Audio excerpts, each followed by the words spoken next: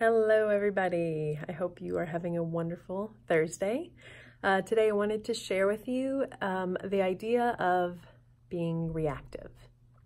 Am I reacting to someone or am I controlling my own thoughts and my feelings? So, what I like to share with the little ones is a, thermo a thermostat and a thermometer. Which one are we being? So, what is the difference? The thermo thermometer measures the temperature, tells you if something's hot or cold. Um, and it's reactive to the environment around it. It'll adjust. Um, and then with the thermostat, you can push the buttons and change the temperature.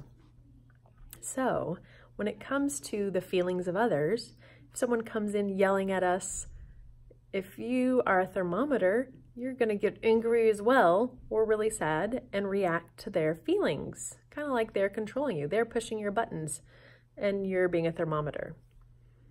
When it comes to being a thermostat, someone can come in hot and you can just keep your buttons nice and cool.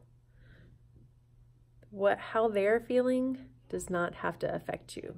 And it might, if you're used to reacting to someone, it might momentarily, and then you just have to shift your mind and say, oh, that their problem is not necessarily my problem and you can control your attitude and your feelings and just realize, you know what? They're angry about something. Hmm. I, I feel, I don't, I wish they were happier. Or I wonder if I can help. Or maybe I should walk away and, and hang out with someone else or talk to someone else. So that's the little tip for today. It applies to adults, children, anyone. Uh, so your challenge today is try to be a little less reactive. And when you find yourself playing a little verbal tennis and going back and forth with somebody, ask yourself if you're being reactive. That's it for today. Let me know if you have any questions.